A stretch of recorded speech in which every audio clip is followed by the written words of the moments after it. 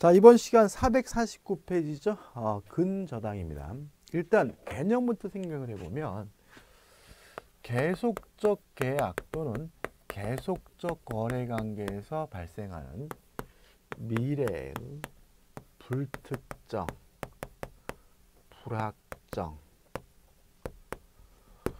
어, 불, 불특정, 불확정 미래 채권을 음, 채권 최고액입니다. 채권 최고액 범위 내에서 우선 변제 받을 수 있는 담보 물건을 우리가 근저당이라고 합니다.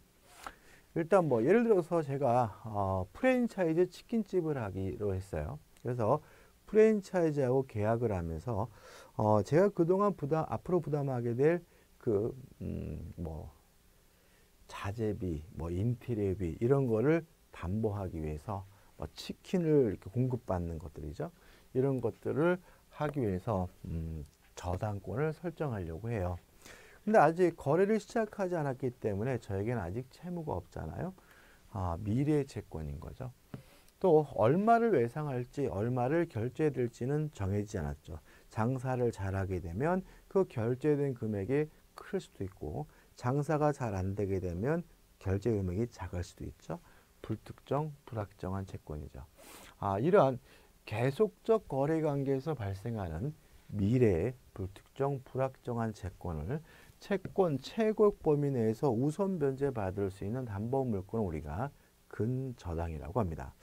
그러면 특징이 나와 있는데 일단 미래 채권이거든요. 그러면 현재 채권이 없더라도 현재 채무가 없더라도 근저당권을 설정할 수 있다는 것이니까 채권이 없더라도 근저당권 설정할 수 있다. 담보물권 존재할 수 있다. 부종성이 완화 내지 배제되어 있다는 특색이 있고요. 그다음 넘겨보시면 근저당권 설정입니다. 자 일단 설정 계약과 등기를 함으로써 성립하게 되는데 등기할 때 반드시 기재해야 될 것은 근저당의 취지, 근저당임을 기재해야 되겠죠. 그 다음에 또 반드시 기재될 것은 뭐냐면 채권 최고액입니다.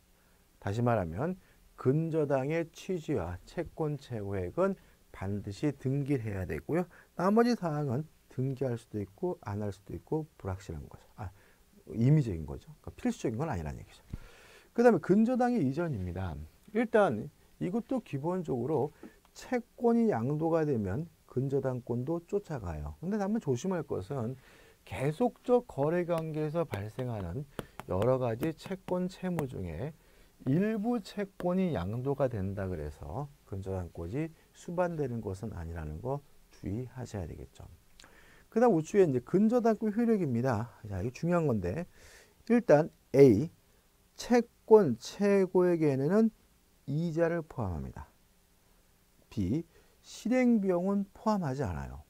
유의하실 것은 지연 배상금도 굳이 1년분에 하나지는 않다는 거죠. 다시 말하면 채권 최고액 범위 내라면 지연 배상금도 1년분에 하나지 않고 근저당권에 의해서 담보가 되는데 저당권 실행 비용은 채권 최고액에 포함되지 않는다는 거 꼭 기억해 두셔야 되겠죠. 기억하셔야 되고 그 다음에 이제 C와 D입니다. 자, 이건 어떤 뭐냐면 이런 겁니다. 예를 들어서 실제 채무에 실제로 갚아야 될 돈이 예를 들어서 1억 5천인데 근저당권의 채권 최고액은 1억이란 말이죠. 그러면 얼마를 갚아야 근저당권의 말소를 청구할 수 있느냐에 대해서 제3취득자나 물상보증인은 1억 5천을 갚아야 되는 것이 아니라 최고액인 1억만 갚더라도 근저당권의 말소를 청구할 수가 있는 거죠. 이에 반해서 채무자는 최고액이 아닌 1억 5천 실제 채무액 전액을 다 갚아야지만 근저당권의 말소를 청구할 수가 있습니다.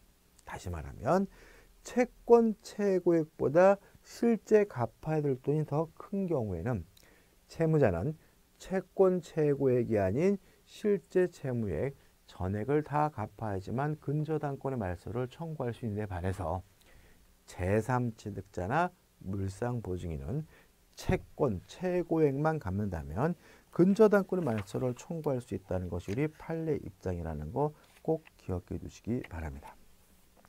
자, 452페이지입니다. 담보되는 채권의 약정이죠. 자, 근저당권에 의해 담보되는 채권은 미래 불특정 불확정한 채권이죠. 채권액이 늘었다 줄었다 증가한 변동이에요. 그러면 요 근저당권 실행이 되려면 그 채권액이 늘었다 줄었다 변동되면 안 되겠죠. 채권액이 확정돼야 되겠죠. 언제 확정되느냐? 원칙은 계속적 거래 관계가 종료가 되면 계속적 거래가 끝나게 되면 더 이상 발생한 채권이 없으니까 채권액이 확정이 되는 거죠. 이게 원칙이에요. 근데 중요한 것은 경매 신청이죠. 아, 다시 말하면 채권액이 확정되는 시점은 경매를 신청하게 되면 채권액이 확정이 되는 겁니다. 다만 후 순위 권리자가 경매를 신청했을 때 선순위 근저당권자의 채권액의 확정 시기는 경락이니 경락대금을 완납했을 때라는 점이죠. 자, 이게 무슨 말이냐면 자, 계속적 거래 관계가 종료가 되면 더 이상 채권액이 발생할 일이 없으니까 채권액이 확정이 되겠죠. 따라서 근저당권자가 경매를 신청하게 되면 계속적 거래 관계가 종료가 될 테니까 채권액이 확정이 되는 거예요. 근데 문제는 경매가 이루어지게 되면 모든 저당권은 무조건 다 뭐가 돼야 돼요? 소멸이 돼야 되거든요. 따라서 후순위 권리자가 경매를 신청했더라도 선순위 근저당권은 무조건 소멸이 돼야 되고요. 따라서 채권액이 확정이 돼야 되는 거죠. 다만 그 시기는 최대한 늦춰집니다. 언제요? 경락인이 경락대금을 완납한 때. 자, 이렇게 기억하자고요. 자, 경매 신청이 이루어지게 되면 근저당권자가 경매를 신청하게 되면 채권액이 확정이 된다. 다만 후순위 권리자가 경매를 신청했을 때 선순위 근저당권자의 채권액의 확정 시기는 경락인이 경락대금을 완납한 때다까지 정리하시면 끝입니다. 자 넘겨보시면 454페이지에 포괄 근저당이 나와요. 자 이건 뭐냐면 계속적 거래 관계가 없는데도 불구하고 계속적 거래 관계가 명시되지 않고 채권 재고액 범위 내에서 우선 변제받을 수 있는 담보 물건 우리가 포괄 근저당이라고 하고요. 가장 흔한 담보 물건이 포괄 근저당이 되겠죠. 왜냐 우리는 은행에서 대출 받게 되면 계속적 거래 관계가 없는데도 불구하고 무조건 근저당을 설정합니다. 이런 걸 우리가 포괄 근저당이라고 하고 물론 가능하고 유효하다는 것까지 기억해 두시면 되겠죠. 자, 대표이제 풀어보죠. 근저당권에 관한 설명으로 틀린 것은 1번 채무자가 아닌 제3자도 근저당권을 설정할 수가 있습니다. 이 사람 우리가 뭐라는 거죠? 물상 보증인이라고 하는 거죠. 2번 채무자가 아닌 제3자 명의 근저당권 설정 등기는 특별한 사정이 없는 한 무효이다. 맞나요? 자, 부정성 수반성 때문에 채권자와 저당권자, 근저당권자는 같은 사람이어야 하므로 원칙적으로 제3자 명의 근저당권 등기는 뭐죠? 무효인 거죠. 3번 근저당권에 의해 담보될 담보됩니다. 채권 최고액에는 채무 이자는 포함되지 않는다. X점. 이자 포함됩니다. 지연배상금도 포함되고 1년 분 할하지 않습니다. 포함되지 않는 게 뭐죠? 실행 비용만 포함되지 않는 거죠. 답은 뭐죠? 3번이죠. 4번 근저당권 설정자가 적법하게 기본 계약을 해지했어요. 그럼 기본 계약을 해지했다면 계속적 거래 관계가 종료가 됐을 테니까 채권액이 확정이 되겠죠. 따라서 적법하게 기본 계약을 해지하면 피담보 채권은 확정된다. 맞는 지문이 되고요. 5번 근저당권자가 피담보 채무 불이행을 이유로 경매 신청을 하는 경우에는 경매 신청 시 비담보 채권이 확정된다. 다시 말하면 원칙적으로 경매 신청 시 채권액이 확정이 되므로 5번도 맞는 질문이 되겠죠. 자, 이제 공동저당입니다.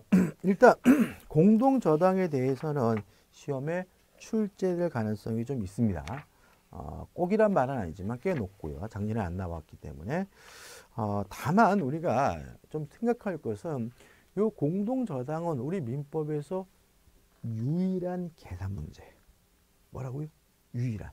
그래서 어, 이 공동저당에 대해서는 시간이 좀 많이 걸릴 수가 있기 때문에 중간에 이 공동저당에 관한 문제를 풀다가 시간을 많이 잡아먹게 되면 뒤에 문제를 시간 부족으로 찍어야 되는 일이 발생할 수도 있습니다.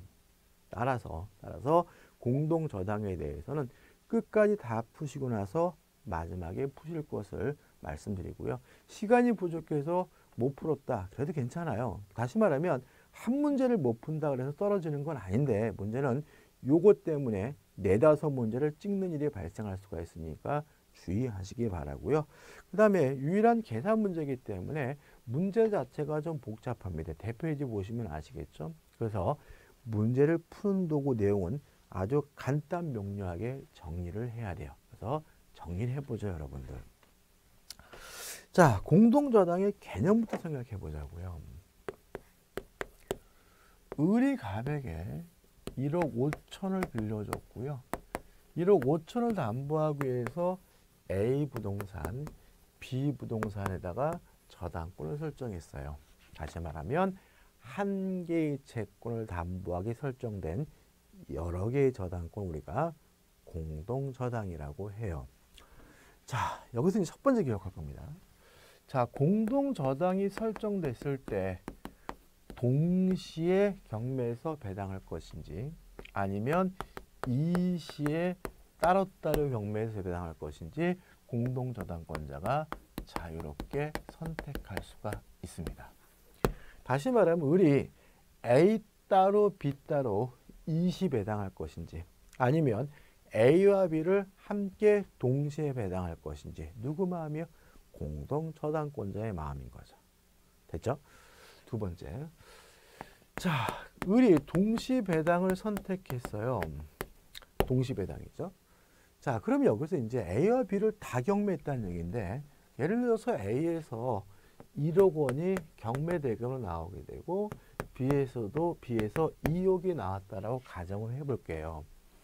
을이 받아야 될 돈은 1억 5천인데 지금 돈이 얼마 남았죠? 나왔죠? 3억이 나왔으니까 A에서 얼마를 받을지 B에서 얼마를 받을지 분담액이 결정돼야 되겠죠. 어떻게 결정되느냐? 첫째, 원칙. 목적물의 가액의 비율에 따라서 분담액이 결정되게 됩니다. 따라서 1억 대 2억의 비율로 분담액이 결정이 되고요. 비례식을 계산하는 방법은 쉽게 말씀드리면 더해서 밑에 깝니다. 어떻게 한다고요? 더해서 밑에 깔아요. 그럼 1 더하기 2는 3이니까 밑에 깔면 A에서는 3분의 1, 1억 5천에 3분의 1, 5천만을 받게 되고요. B에서는 3분의 2, 1억 5천에 3분의 2, 1억을 받게 되는 거죠. 다시 말하면 동시 배당하게 되면 어느 물건에서 얼마를 받을지 그 분담액은 목적물의 가액의 비율에 따라서 분담액이 결정이 되는 거죠. 여기까지가 시험에 가장 많이 나온 부분입니다. 다만 예외가 있어요. 꼭 그래야 되느냐? 이 문제에 대해서 우리 판례는 물상 보증인 소유물이 존재하는 경우에는 이때는 분담액의 비율로 가액의 비율로 가액의 비율로 분담액이 결정된다는 민법 규정이 적용될 수는 없다는 겁니다. 물상 보증이 소유물이 존재하는 경우에는 이때는 채무자 소유물에 대해서 선 배당을 하고요. 부족액이 존재하는 경우, 돈이 모자르는 모자르는 경우에만 물상 보증인 소유물에 대해서 배당을 해야 된다는 것이 우리 판례 입장입니다. 다시 말하면 A와 B 모두가 을 채무자 아, 갑 채무자 소유물이 아니라 B가 병 물상 보증인 소유물이에요. 이렇게 물상 보증인 소유물이 존재하는 경우에는 가액의 비율에 따라서 분담액이 결정되는 것이 아니라 채무자 소유물부터 먼저 배당을 합니다. 따라서 채무자 소유물인 A부터 먼저 배당을 하게 되면 1억을 다 가져가게 되는 거죠. 부족액이 있죠. 지금 의뢰 받아야 될 돈은 얼마입니까? 5천만 원이잖아요. 이렇게 부족액이 존재하는 경우에만 물상 보증인 소유물에서 배당을 실시하게 되므로 B가 만약에 병, 물상 보증인 소유물이라면 이때는 1억이고 여기서 어떻게 해요? 5천만 원을 받아가게 되는 거죠. 자, 다시 말하면 동시에 배당하게 된 원칙적으로 가액의 비율에 따라서 분담액이 결정되고요. 물상 보증인 소유물이 존재하는 경우에는 가액의 비율에 따라서 분담액이 결정되는 것이 아니라 채무자 소유물부터 먼저 배당하고 부족액이 있는 경우에만 물상 보증인 소유물에 대해서 배당을 실시하게 됩니다. 세 번째 20배당. 아, 하나만 더 할게요. 세 번째입니다. 아, 20배 아, 세 번째. 20배당이죠.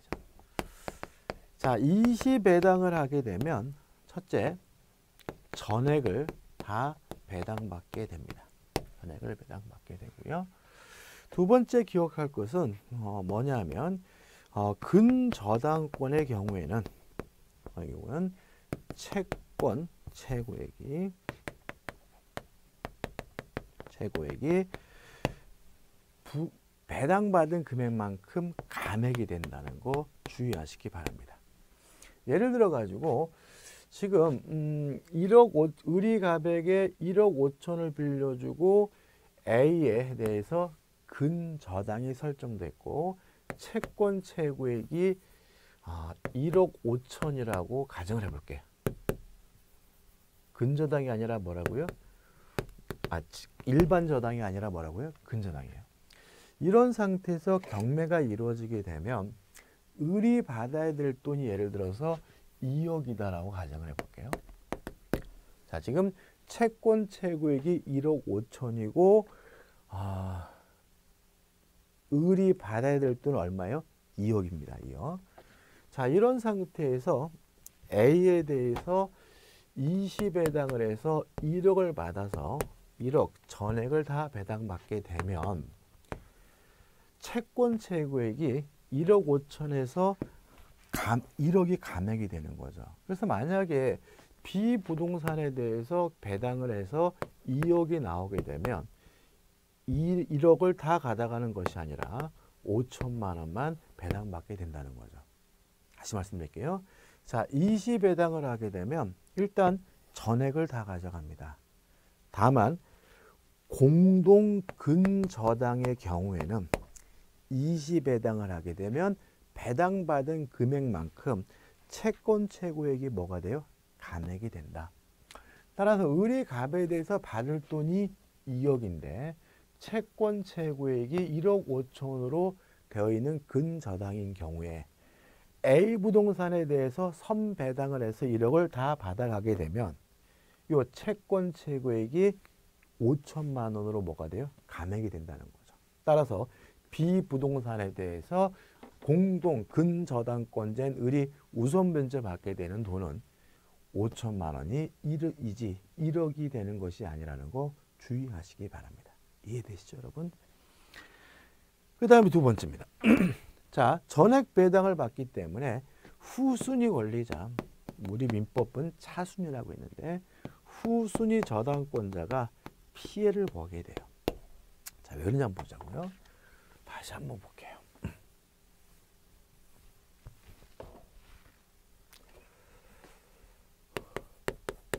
을이 가백에 빌려준 돈이 1억 5천이고요. 요걸 담보하기 위해서 A 부동산, B 부동산에 공동 저당이 설정됐습니다. 근저당이 아니라 공동 저당이에요. 근데 만약에 동시 배당을 하게 되면 동시 배당하게 되면 A에서는 아 다시 한번요. 자 A가 1억이 나오고 B가 2억이 나왔을 때 동시 배당하게 되면 가액의 비율에 따라서 분담액이 결정되니까 A에서는 3분의 1, 5천만 원을 받게 되고 누가요? 을이. B에 대해서는 3분의 2, 1억 원을 가져가게 되는 거죠. 근데 만약에 20배당을 선택하게 되면 얘기가 달라져요. 왜냐하면 20배당을 하게 되면 공동저당권자가 전액을 다 받게 되거든요. 그럼 예를 들어서 이 A 부동산의 후순위 권리자인 정이 있다라고 가정을 해볼게요. 정이 있다고. 하, 그럼 이렇게 되는 거죠.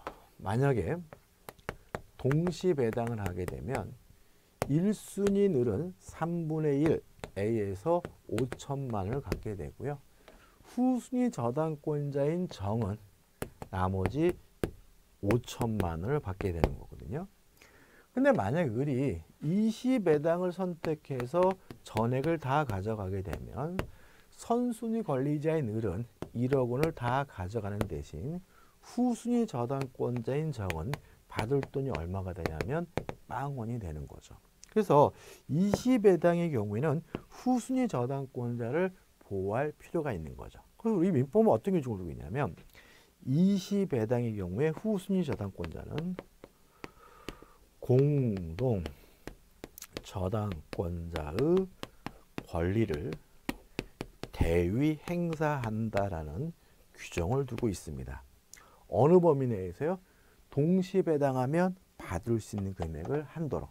따라서 정은 20 배당에서 5천만을 받지 못하게 되면 동시 배당하면 받을 수 있는 이 5천만을 한도로 해가지고 공동저당권자의 비부동산에 대한 권리를 뭐 하게 되는 거죠? 대위 행사하게 되는 거죠. 따라서 정의 입장에서 보게 되면 만약 을이 동시 배당을 선택하게 되면 정은 A 부동산에서 5천만을 받게 되고요. 을이 만약에 20배당을 선택하게 되면 B에서 5천만을 받게 되는 거죠. 왜냐하면 20배당을 통해서 후순위 권리자가 받을 금액이 줄어들게 된 경우에는 후순위 권리자는 공동저당권자의 권리를 대위 행사할 수가 있기 때문에요. 마지막으로 다만 이러한 대위 행사가 허용되지 않는 경우가 있습니다.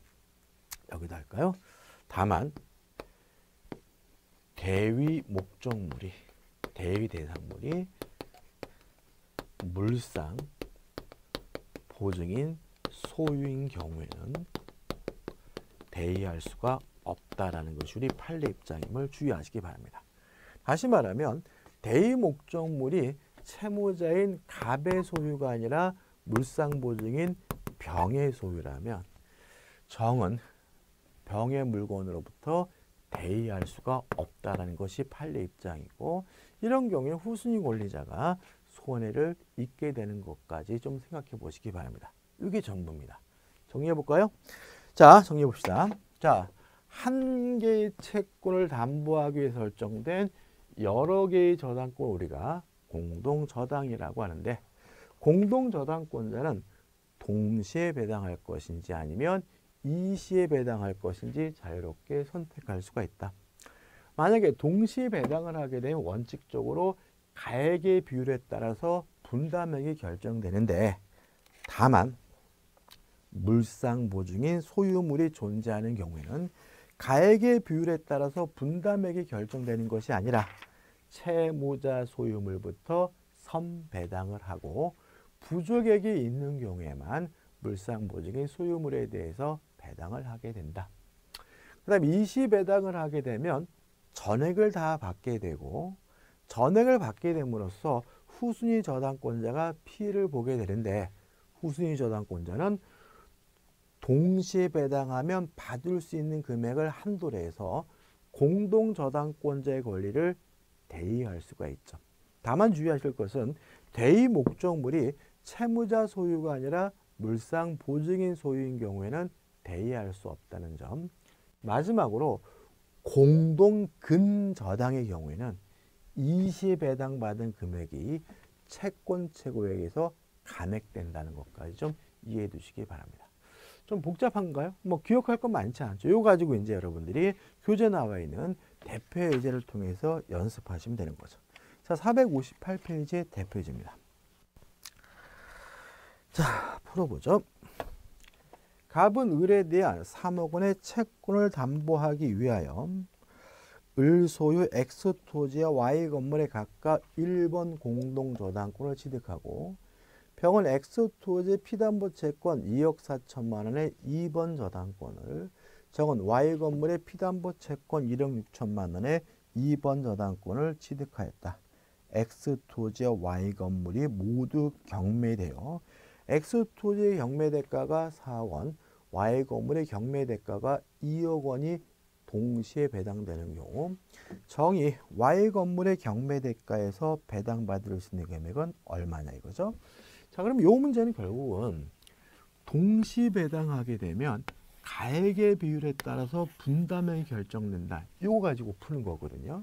근데 보시다시피 이 공동 저당권에 관한 문제는 문제가 굉장히 복잡하게 나오기 때문에 옆에다가 좀 메모를 좀 잘 하셔야 되는 거죠. 자, 한번 보자고요.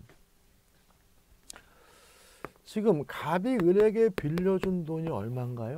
3억이고 요걸 담보하기 위해서 X와 Y의 공동 저당을 설정했고요. 지금 X에는 1순위가 갑이고 2순위가 병이 있고요. Y에는 1순위가 갑이고 2순위가 뭐가 있는 거죠? 정이 있는 거죠. 그 다음 경매가 됐는데 지금 X는 지금 얼마인가요? 어, 4억이고 Y는 얼마죠? 2억인 거죠. 자, 동시에 배당이니까 가액의 비율에 따라서 분담액이 결정되거든요. 자, 그럼 풀어보죠. 4억 대 2억이니까 더해서 밑에 까는 거죠. 그럼 어떻게 해요? 6이죠. 그러면 X에서는 6분의 4, Y에서는 6분의 2죠. 자, 저는 여러분들에게 연습하는 거니까 다 풀어보는 겁니까? 문제에선 지금 정이 얼마를 받는 거냐 물어보니까 이거만 물어보면 되는데 저는 여러분께 설명드리기 위해서 다 하는 거예요. 자, 그러면 6분의 4, 6분의 2죠. 약분하면 뭐죠? 3분의 2죠. 그러면 갑은 3억의 3분의 2, 2억을 받게 되고요. 3억 중에 2억을, 아, 4억 중에 2억을 받았으니까 남은 게 얼마입니까? 2억이죠. 병은 2억을 받게 되네요. 자, Y에서는 아, 3분의 1이죠. 약분하면 기죠. 따라서 갑은 Y에서 1억 원을 받게 되고요. 2억 중에 갑이 1억 원을 가져갔으니까 정은 나머지도 얼마죠? 1억인 거죠. 따라서 문제에서 물어보는 정이 Y 건물의 경매 대가에서 배당받을 수 있는 금액은 얼마요? 1억이니까 답은 뭐죠? 어, 4번이 되는 거고요. 물론 여러분들 문제를 풀 때는 X권을 할 필요 없죠. 그죠? Y권만 해보면 우리가 쉽게 할 수 있는 거죠. 6분의 2, 3분의 2니까 3분의 1이니까 갑은 1억, 정은 뭐죠? y에서 1억 이렇게 된 거예요. 이해되시나 그죠? 자, 6분의 3분의 1이니까 갑은 3억의 3분의 1, 1억을 가져가게 되고요. 2억 중에 갑이 1억 원을 가져갔으니까 나머지 1억 원 정이 뭐죠? 1억을 받게 된다. 이렇게 풀면 되는 거죠. 2번입니다. 갑은 을에게 1억 원을 대출해주고 을 소유 X 토지와 Y 토지가 하나여 채권 최고액 1억 2천만 원하는 1순위 공동 근저당권을 취득하였다. 자, 그럼 여기서 우리가 좀 생각해 볼 것이 뭐냐면 공동 저당이 아니라 공동 근저당이라는 거 주의하시기 바라고. 그 갑은 병이 신청한 X 토지의 경매 절차에서 8천만 원 우선 상금 받았죠. 그러면 20 X 토지만 했으니까 20배당을 했고요. 20배당의 경우에 공동 저당권의 경우는 채권 최고액에서 배당받은 금액만큼 감액이 되거든요. 그러면 지금 이 사람들의 채권 최고액은 1억 2천이고 배당받은 금액은 얼마예요? 4천이니까 얼마 남았습니까? 배당받은 금액이 8천이니까 얼마 남았습니까? 4천만 원 남은 거죠. 따라서 음, Y 토지로부터 우선 변제 받을 수 있는 금액은 나머지 뭐 얼마요? 4천만 원까지만 우선 변제 받을 수 있는 겁니다. 이시 배당을 하게 되면 공동 근저당권자는 채권 최고액에서 받은 금액만큼 감액이 돼요. 얼마까지요? 4천만 원까지 우선 면제 받을 수 있는 거죠. 따라서 이후 정이 신청한 경매 절차에서 Y 토지가 2억 원에 매각되고 갑의 채권은 원리금과 지연 이자 등을 포함한 경매 신청 당시에 5천만 원, 매각 완납 시는 5,500만 원이다. 이게 중요한 것입니다. 감액됐으니까 얼마까지죠? 4천만 원이죠. 갑이 Y 토지의 매각 대금에서 우선 배당받을 수 있는 금액은 얼마죠? 4천만 원이니까 답은 뭐죠?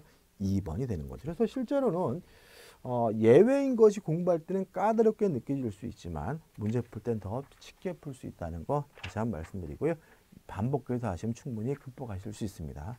자 이번 시간 여기까지고 다음 시간에 우리가 계약법으로 들어가도록 하겠습니다.